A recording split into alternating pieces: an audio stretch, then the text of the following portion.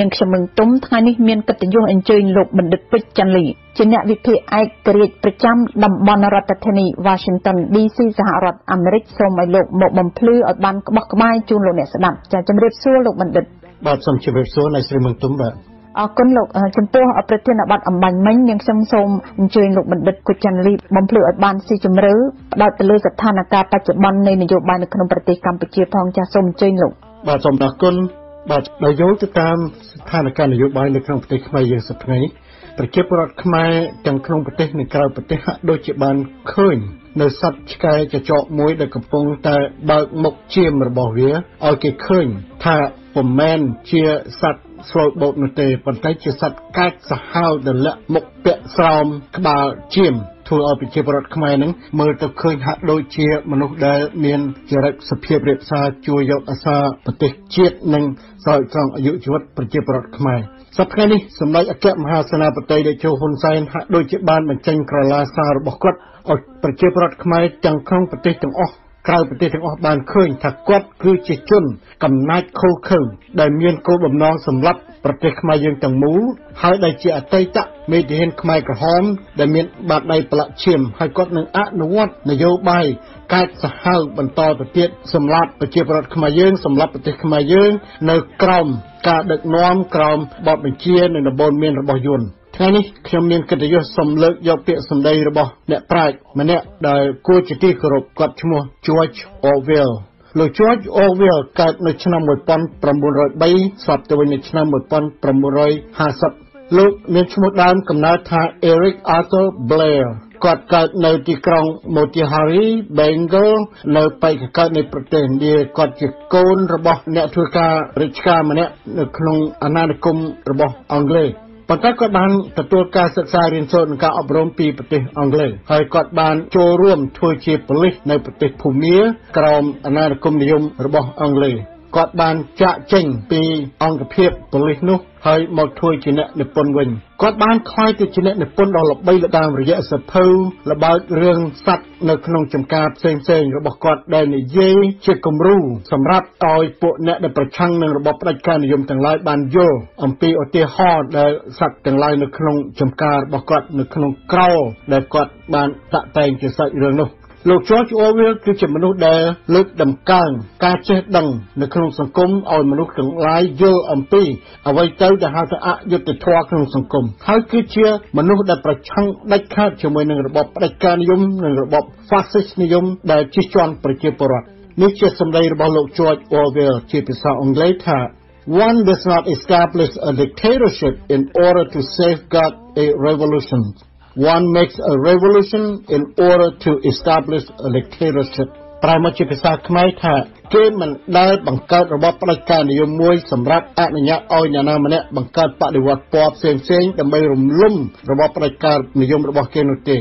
គេតែងតែបង្កើតការតស៊ូធ្វើបដិវត្តនានាពីដើមមកដើម្បីបង្កើតទៅជារបបផ្ដាច់ការនិយមមួយនេះជាសម្ដីរបស់លោក George Orwell ប្រទេសខ្មែរយើងសប្តាហ៍ថ្ងៃនេះយើងឃើញថាលោកហ៊ុនសែនដែលជាអតីតខ្មែរក្រហមកំពុងតែធ្វើសកម្មភាពដើម្បីរក្សាអំណាចរបស់ខ្លួនកាន់កាប់អំណាចជារៀងដរាបតទៅទោះបីមានការបោះឆ្នោតប៉ុន្តែការបោះឆ្នោតទាំងឡាយតាំងពីក្រោយឆ្នាំ1993មកសុទ្ធតែជាការបោះឆ្នោតដោយបន្លំដោយទិញសម្លឹកឆ្នោតមិនប្រកបដោយយុត្តិធម៌និងដោយសេរីភាពនិងមិនប្រកបដោយឆន្ទៈពិតប្រាកដរបស់ម្ចាស់សម្លឹកឆ្នោតនោះទេតើលោកហ៊ុនសែននេះជានរណាហើយហេតុអ្វីបានជាគាត់ធ្វើសកម្មភាពផ្ដាច់ការនិយមរហូតមកដល់សប្តាហ៍ថ្ងៃនេះលោកហ៊ុនសែនបានចាក់ចែងពីគ្រួសាររបស់គាត់នៅអាយុ13ឆ្នាំហើយទៅរៀននៅវត្តជាមួយនឹងលោកសង្ឃនៅពេលដែលលន់នល់បានធ្វើការផ្លាស់ប្ដូររបបបន្ទាប់ពីសៀអនុរត់ចោលការទទួលខុសត្រូវរបស់គាត់ទម្លាក់ការដេញយួនមកឲ្យលន់នល់នោះលោកហ៊ុនសែន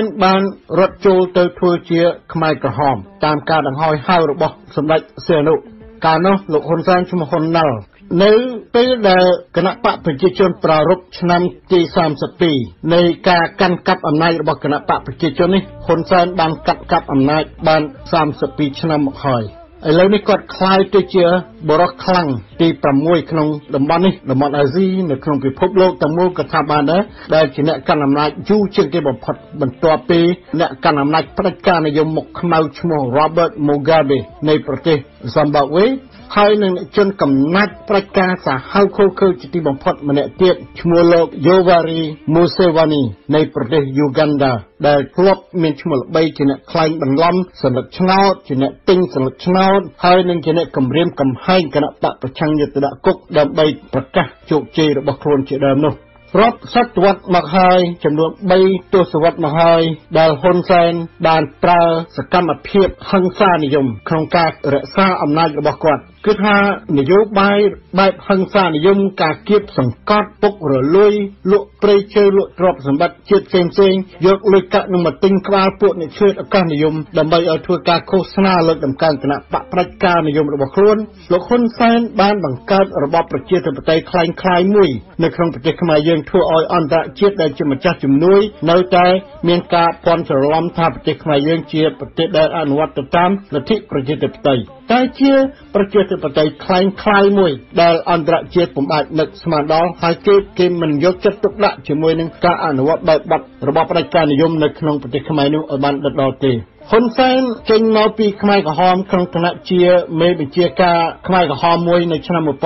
1970ហើយគាត់បានក្លាយទៅជានាយករដ្ឋមន្ត្រីបានក្លាយទៅជាអ្នកដឹកនាំបរោះដៃខ្លាំងនៃគណៈបកប្រជាជនហើយដែលបរទេសទាំងឡាយចាត់ទុកថាជាអំណាចមួយដែលប្រជាពលរដ្ឋខ្មែរបានប្រកល់អល់តាមរយៈសភាតំណាងរាស្ត្រនិងតាមរយៈការបោះឆ្នោតផ្សេងៗ ប៉ុន្តែករណីនេះគឺជាករណីមួយដែលហ៊ុនសែនបានទទួលជោគជ័យតែតាមរយៈការបោកបញ្ឆោតការបន្លំរបស់ប្រជាពលរដ្ឋតែប៉ុណ្ណោះនៅក្នុងសន្ទរកថា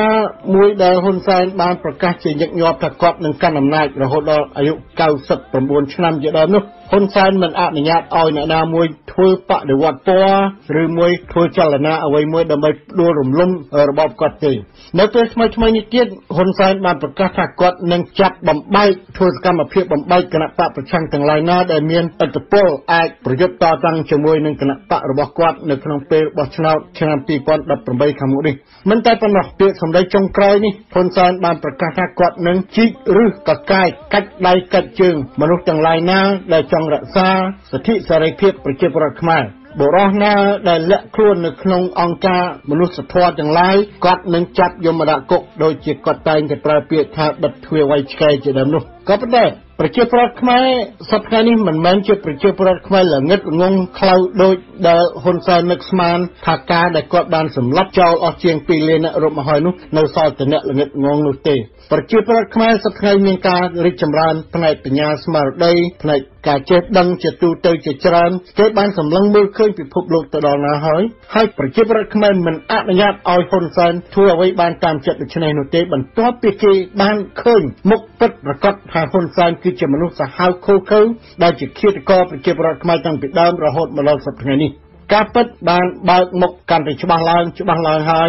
ថាហ៊ុនសែនគឺជាបុគ្គលដែលបំផ្លាញប្រជាពលរដ្ឋខ្មែរយើង បំផ្លាញវប្បធម៌ខ្មែរយើង បំផ្លាញសិទ្ធិសេរីភាពនិងអនាគតនៃប្រជាពលរដ្ឋខ្មែរយើងដូច្នេះយើងគប្បីប្រកាន់គោលជំហរមួយឲ្យបានរឹងមាំនៅក្នុងប្រទេសខ្មែរយើងគោលជំហររឹងមាំនោះអាចយកមកឆ្លុះបញ្ចាំងនៅតាមការតតាំងជាមួយនឹងយុទ្ធវិធីទុច្ចរិតផ្សេងៗរបស់គណៈបកប្រជាជនរបស់ហ៊ុនសែននេះ គណៈបកប្រជាជនហ៊ុនសែនតែងតែប្រើនយោបាយទុច្ចរិតច្រើនបែបច្រើនយ៉ាងណាស់រូបមន្តមួយដែលប្រទេសសូវៀតតែងតែយកមកប្រើពួកផ្ដាច់ការនិយមនៃប្រទេសសូវៀតតែងតែយកមកប្រើគេហៅថា MICE M I C E M I C E នេះ MICE M មានន័យថាលុយ money លុយដែលគេបានមកពីការលក់គ្រឿងញៀនការប្លង់យកដីស្រែចម្ការផ្ទះសម្បែងប្រជាពលរដ្ឋយកមកលក់យកលុយមកដាក់នៅក្នុងកប៉ៅខ្លួនលុយដែលបានលក់ព្រៃឈើយកទៅឲ្យយួនយកទៅឲ្យចិនគ្រប់សពបែបយ៉ាងលុយដែលបានសញ្ញេកុងត្រាលក់ធនធានជាតិទៅឲ្យបរទេសទាំងឡាយគឺគណៈបកប្រជាជននឹងហ៊ុនសែននេះយកលុយទាំងអស់ហ្នឹងមកប្រើទិញក្បាលពួកនិឈើឱកាសនិយមដូចជារុយក្បាលខៀវដែលហើ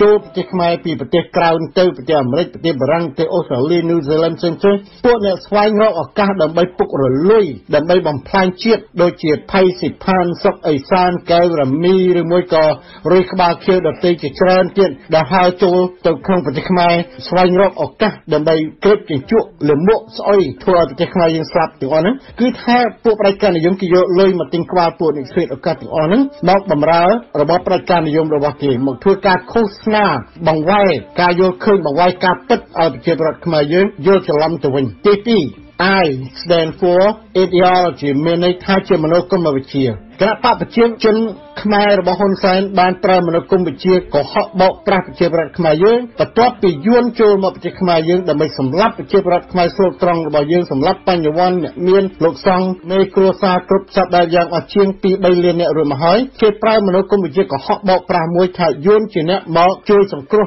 ជីវិតប្រជាប្រដ្ឋខ្មែរយើងជាអ្នកជួយរំដោះប្រជាប្រដ្ឋខ្មែរយើងពីការសម្លាប់របស់យួនដែលយួនខ្លួនឯងជាអ្នកប្រើខ្មែរក្រហមឲ្យសម្លាប់ប្រជាប្រដ្ឋខ្មែរខ្លួនឯងនោះនេះជាមនុស្សគុំវិជាបោកប្រាស់មួយដែលខ្មែរមួយចំហៀងនគរពីដើមធ្លាប់តែយល់ឃើញថាជាការពិតប៉ុន្តែឥឡូវនេះកាន់តែមានការភ្លឺស្វាងច្រើនឡើងច្រើនឡើងថាជាការប្រើមនុស្សគុំវិជាបោកប្រាស់ដោយសុទ្ធសាធ C ប្រើមកថា compromise ឬក៏ការចរចាពួកប្រជានិយមតកណាគេឃើញគណៈបកប្រឆាំងណាមួយមានសភាពទន់ខ្សោយគេ លោកសង្គ្រប់គេជិះជាន់តែម្ដងប៉ុន្តែបើសិនជាគណៈបពប្រឆាំងមានអ្នកគ្រប់គ្រងជឿជួបះបោខ្លាំងឡើងហើយអន្តរជាតិដាក់សម្ពាធខ្លាំងគេនឹងប្រើវិធីមួយគេហៅថាវប្បធម៌សន្តិនិកចរចាគ្នាដើម្បីដោះស្រាយបញ្ហាជាតិឲ្យបរទេសឃើញថាវាមានសន្តិភាពជាតិហើយឲ្យអ្នកកាន់អំណាចប្រជានិយមជាមួយនឹងមេដឹកនាំគណៈបពប្រឆាំងដែលស្រេកឃ្លានបងសាក់អំណាចខ្យល់អីផ្សេងៗទាំងអស់ចូលទៅចាប់ដៃចូលទៅបាយល្ងាចអីណាជាមិត្តភាពជាបងជាប្អូនអីដើម្បីសង្គមជាតិដើម្បីប្រទេសជាតិអីចឹងតទៅទៀតដូច្នេះអវបធម៌សន្តិនិកគឺជាឧបករណ៍នយោបាយរបស់គណៈបកប្រជាជនគណៈបកផ្ដាច់ការនិយមមួយរបស់ហ៊ុនសែនដែលគេប្រើនៅពេលដែលគេត្រូវការនៅពេលដែលគេទទួលការសម្ពាធពីអន្តរជាតិនិងទទួលការងើបឡើងទាមទាររបស់ប្រជាពលរដ្ឋខ្មែរគេប្រើវប្បធម៌សន្តិនិកដើម្បីឲ្យស្ងប់ស្ងាត់នៅភាពជ្រើបជ្រួលទាំងអស់នោះអក្សរមួយទៀតចុងក្រោយគឺ E ប្រែមកថា ego ឬក៏អតតតបុគ្គលនិយម ego គឺគេយកបនស័កតំណែងខ្យល់ទាំងឡាយយកមកបំពាក់ដល់ឲ្យបុគ្គលណាដែលជួលជើងនឹងមុខនឹងមាត់នឹងបនស័កស្រីស្រាក្មេងលបែងពាលាគ្រប់សពបែបយ៉ាងនេះគេយកអាទាំងអស់ហ្នឹងមកបំពាក់មកបំពុលបុគ្គលដែលនិយមបនស័កស្រីស្រាលបែងពាលាគ្រប់សពបែបយ៉ាងហ្នឹងឲ្យពុលឲ្យឲ្យវង្វេងអារម្មណ៍របស់ខ្លួនដើម្បីខ្លួននឹងធ្វើការគ្រប់គ្រងទៅដល់គណៈបកប្រជាជននិយមគណៈបកប្រជាជនខ្មែរដែលជាគណៈបកផ្ដាច់ការនិយមដែលយួនបង្កើតសម្រាប់ឲ្យហ៊ុនសែនដឹកនាំសប្តាហ៍នេះរូបមន្តមួយទៀតដែលគណៈបកប្រជាជនគេបានយកមកប្រើគឺគេហៅថា defeat defeat នេះគឺសរសេរអក្សរ D I F I D defeat ប្រែមកថា divide មុនដំបូងគេត្រូវបំបែកបំបាក់គណៈបកប្រឆាំងឬក៏បង្រាត់កុំឲ្យនៅជួបជុំគ្នាកើតគណៈបកប្រឆាំងណាមួយដែលមានអធិពលអាចប្រកួតប្រជែងក្នុងការបោះឆ្នោតមានព្រៀបឬក៏មានលក្ខណៈធម្មពលប្រហាក់ប្រហែលគ្នាគេនឹងបំបែកចោលបំបែកហើយទៅគេនឹងធ្វើការរំលែកគណៈបកនឹងចោលតែម្ដងដើម្បីគេធ្វើការប្រកួតប្រជែងតែម្នាក់ឯងនៅក្នុងពេលបោះឆ្នោតនេះជារូបមន្តមួយទៀតដែលគណៈបកប្រជាជនកម្ពុជាគេយកមកប្រើអក្សរទី2គឺ I ប្រែថា isolate isolate នេះគឺថាបំបែកបង្រាត់ឲ្យចេញឲ្យឆ្ងាយពីគ្នាកុំឲ្យមេគណៈបកនីមួយៗនៅជួបជុំគ្នាគេបំបែកគ្នាឆ្ងាយមួយដេញចេញក្រៅប្រទេសទៅមួយចាប់យកទៅដាក់គុកក្បត់ជាតិអីឲ្យឆ្ងាយពីគេទៅកុំឲ្យស្ថិតនៅជួបជុំគ្នាកុំឲ្យស្ថិតនៅក្បែរអ្នកគ្រប់គ្រងរបស់ខ្លួននេះជាមធ្យោបាយរបស់គណៈបកប្រជាជនដ៏ស្មោកគ្រោកដែលគេកំពុងតែអនុវត្តនៅក្នុងប្រទេសខ្មែរយើងសប្តាហ៍នេះអក្សរទី3គឺ F ប្រែមកថា finish បញ្ចប់បញ្ចប់ជីវិតនយោបាយរបស់គណៈបកប្រឆាំងមេដឹកនាំគណៈបកប្រឆាំងនីមួយៗការបញ្ចប់អនាគតនយោបាយនៃបុគ្គលអ្នកប្រឆាំងនីមួយៗនឹងតាមរយៈការសម្លាប់ចោលតាមរយៈចាប់យកទៅដាក់គុកមិនឲ្យចេញអស់មួយជីវិតនិងតាមរយៈការទិញក្បាលហើយគេប្រើសកម្មភាពទុច្ចរិតស្មោកគ្រោក គ្រប់សពបែបយ៉ាងតាំងពីការខ្លែងបន្លំសម្បត្តិផ្សេងៗថាបុគ្គលនេះទៅចូលគណៈបកគេហើយហើយមានទាំងសញ្ញេផ្ដិតមេដៃមានទាំងអសរមានទាំងសមុទ្រអីផ្សេងៗដើម្បីឲ្យបុគ្គលនឹងខ្លាយទៅជាខ្លាយទៅជាបុគ្គលម្នាក់ដែលអ្នកគ្រប់គ្រងរបស់ខ្លួននឹងឡើងទុកចិត្តមេដឹកនាំគណៈបក ប្រជាជនកម្ពុជាឈ្មោះហ៊ុនសែនបានប្រើវោ50នយោបាយដ៏ស្មោកគ្រោកដែលគ្មានមនុស្សម្នាណាអាចនឹកស្មានដល់គឺបានបញ្ចុះបញ្ចូលគម្រាមកំហែងអ្នកគ្រប់គ្រងគណៈបកប្រឆាំងថាគណៈបកប្រឆាំងនឹងនឹងត្រូវរលាយបាត់បង់មេបាត់បង់កាយហើយអស់មានគណៈបកហើយត្រូវចូលមកក្នុងគណៈបកប្រជាជនបើសិនជាចង់នៅរក្សាតំណែងតទៅទៀត អានេះជាការបោកប្រាស់ដ៏ស្មោកគ្រោកដ៏ថោកទាបជាទីបំផុតដែលគ្មានមនុស្សថោកទាបណាសត្វជាតិណាថោកទាបដូចហ៊ុនសែនដែលប្រើសម្ដីបែបនេះទេ ពីព្រោះថាតំណែងមេឃុំជំទប់ឬក៏ទីប្រឹក្សាអ្វីផ្សេងផ្សេងដែលគណៈបកប្រឆាំងបានទទួលគឺបានទទួលដោយថ្លៃថ្នូរតាមរយៈការបោះឆ្នោតរបស់ប្រជាពលរដ្ឋគេបោះឆ្នោតគេប្រគល់ឲ្យហើយតើមនុស្សបែបណាទៅតើព្រាយបិសាចបែបណាទៅនឹងថោកទាបរហូតដល់ថ្នាក់រត់ចេញបោះបង់ចោលតំណែងដែលប្រជាពលរដ្ឋបោះឆ្នោតឲ្យហើយមកទទួលយកតំណែងដែលគេឲ្យទៅទេដូច្នេះកុំភ្លេចថាកាលណាហ៊ុនសែនបកគលតំណែងឲ្យដូច្នេះហើយផុតពីកណ្ដាប់ដៃប្រជាពលរដ្ឋមកហើយហ៊ុនសែនអាចតាត់ចោលអ្នកនោះអ្នកដែលចូលមកក្នុងគណៈបកប្រជាជនតាមការបោកប្រាស់របស់ហ៊ុនសែននេះហ៊ុនសែននឹងតាត់ចោលចេញទៅវិញនឹងនឹងជន់ឈ្លីនឹងសម្លាប់ចោលនៅថ្ងៃណាមួយក៏បានដែរយើងឃើញជាឧទាហរណ៍ច្បាស់ ច្រើនឡងច្រើនសាររួចមកហើយអំពីតំណែងអនុព្រឹទ្ធសភាដែលគេប្រគល់ទៅឲ្យសំរងស៊ីដើម្បីឲ្យសំរងស៊ីនឹងចូលគ្រប់គ្រងគណៈបកប្រជាជនជាដើមក្រោយមកទៀតគេបានតាត់ចោលយ៉ាងអាម៉ាស់យ៉ាងថោកទាបជាទីបំផុតដែលលោកសំរងស៊ីក៏បានយល់ច្រឡំទៅលើការបោកប្រាស់របស់ហ៊ុនសែននេះ ក្រោយមកទៀតគេឲ្យលោកកឹមសុខាធ្វើជាអនុប្រធានសភា បានមួយរយៈខ្លីហើយហ៊ុនសែនក៏បានតាត់ចេញទៅវិញយ៉ាងថោកទាបយ៉ាងអាម៉ាស់ហើយសប្តាហ៍នេះគេចាប់កឹមសុខាយកទៅដាក់គុកក្បត់ជាតិថែមទៅទៀតដូច្នេះហើយមេឃុំមេស្រុកមេភូមិជំទប់អ្វីផ្សេងផ្សេងបើសិនជាមានការយល់ច្រឡំនៅពេលនេះតាមការបោកប្រាស់របស់ហ៊ុនសែន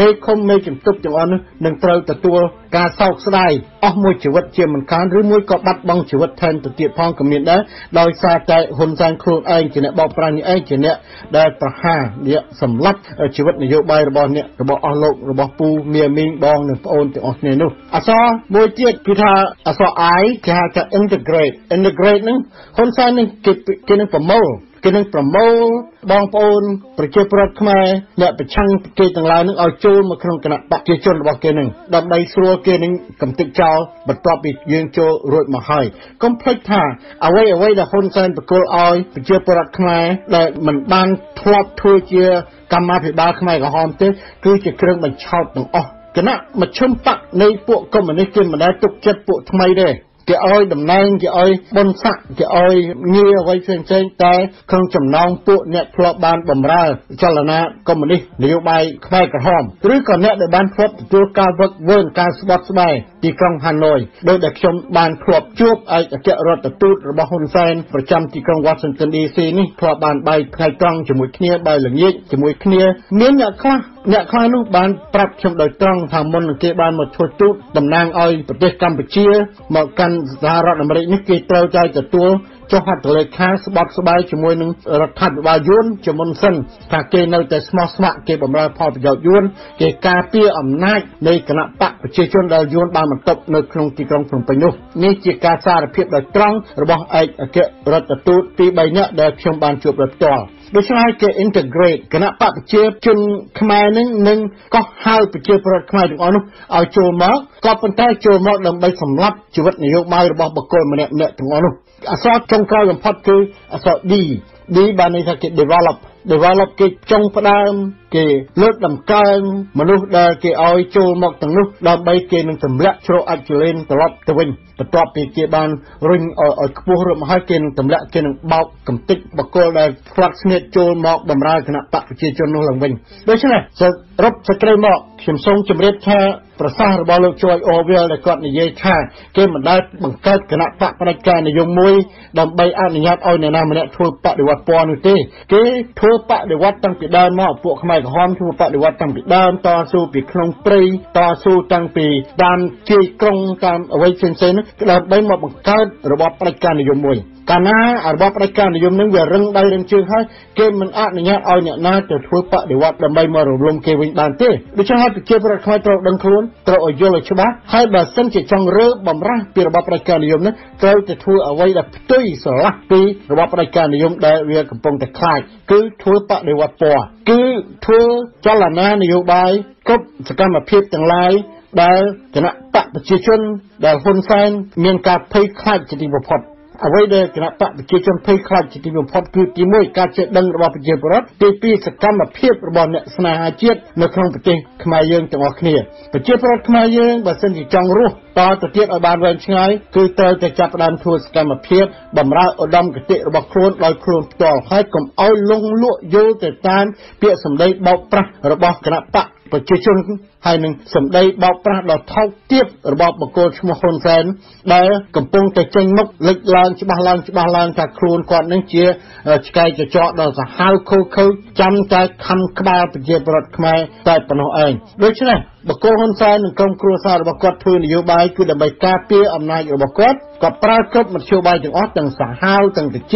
ទាំងក្តៅគ្រប់សពបែបយ៉ាងដើម្បីការពារអំណាចរបស់គាត់ឲ្យកូនចៅរបស់គាត់និងក្រុមបកពួករបស់គាត់បន្តកាន់អំណាចផ្ដាច់ការនិយមនេះបន្តការលក់សម្បត្តិជាតិទីចុងបំផុតគឺលក់ប្រទេសជាតិទៅឲ្យយួនតែម្ដងឥឡូវនេះគេកំពុងតែលក់ទ្រព្យសម្បត្តិធនធានធម្មជាតិគ្រប់សពបែបយ៉ាងទៅឲ្យចិនហើយចុងក្រោយគឺគេលក់ប្រទេសខ្មែរឲ្យយួនតែម្ដងហើយ បញ្ចប់ប្រទេសខ្មែរយើងប្រជាពលរដ្ឋខ្មែរពុំមានប្រទេសអ្វីសម្រាប់រស់នៅតទៅទៀតទេដូច្នេះខ្ញុំសូមលើកទឹកចិត្តឲ្យប្រជាពលរដ្ឋខ្មែរយើងមានការតស៊ូមានការពិចារណាឲ្យបានដិតដល់ចំពោះចលនានយោបាយនៅក្នុងប្រទេសខ្មែរយើងនិងសកម្មភាពដែលហ៊ុនសែនកំពុងតែចេញមុខថាខ្លួននឹងជាអ្នកផ្ដាច់ការនិយមដោយចេញមុខដោយសាហាវខូខើជាទីបំផុតនេះ ជាទីបំផុតខ្ញុំសូមជូនពរដល់ប្រជាពលរដ្ឋខ្មែរឲ្យបានសេចក្តីសុខសប្បាយនិងសូមទេវតាជួយរក្សាប្រទេសខ្មែរឲ្យបានគង់វង្សរហូតដល់ទីអវសាននៃប្រវត្តិសាស្ត្រខ្មែរយើងទៅថ្ងៃមុខទៀតចាអរគុណច្រើនលោកបណ្ឌិតកុច័ន្ទលាជាអ្នកវិភាគឯករាជ្យប្រចាំតំបន់រដ្ឋធានី Washington DC សហរដ្ឋអាមេរិកដែលលោកបានបំភ្លឺពុស្ដាជូនលោកអ្នកស្ដាប់ឲ្យបានជ្រាបអំពីទស្សនៈឬក៏បណ្ដាំរបស់អ្នកប្រាជ្ញឥណ្ឌាលោក George Orwell ដែលលោកបានកត់ត្រាទុក ត្រូវទៅនឹងស្ថានភាពវិបត្តិនយោបាយនៅក្នុងប្រទេសកម្ពុជាបច្ចុប្បន្នសូមអរគុណលោកបណ្ឌិតសូមថ្លែងអំណរគុណដល់អ្នកស្រីមឹងទុំដល់វិទ្យុ CMN និងអស់លោកលោកស្រីអ្នកស្ដាប់ទាំងអស់គ្នាបាទសូមជម្រាបលាចាសូមជម្រាបលាលោកនឹងជួបលោកជាថ្មីនៅថ្ងៃច័ន្ទសប្តាហ៍ក្រោយហើយសូមអរគុណលោកអ្នកស្ដាប់និងលោកអ្នកនាងដែលជួយចែកចាយព័ត៌មាននេះទៅដល់លោកអ្នកស្ដាប់ដទៃទៀតនៅជុំវិញពិភពលោកសូមអរគុណ សត្រូវរបស់បរទេសឈ្លានពានលេខទឹកដីបំបត្តិពូជសាសន៍និងអាយ៉ង គឺកម្លាំងសាមគ្គីជាធ្លុងមួយរបស់ប្រជាពលរដ្ឋជាទូទៅនៃប្រទេសរងគ្រោះ។